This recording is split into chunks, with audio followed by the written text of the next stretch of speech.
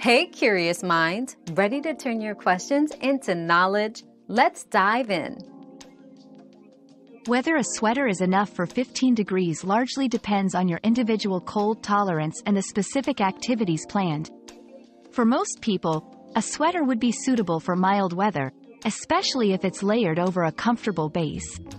Consider adding a light jacket or scarf if you'll be outside for an extended period or if you tend to feel cold easily.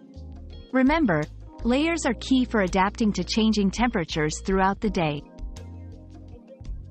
We've quenched today's curiosity, but there's always more to learn. Keep the curiosity alive by subscribing and joining us for our next adventure.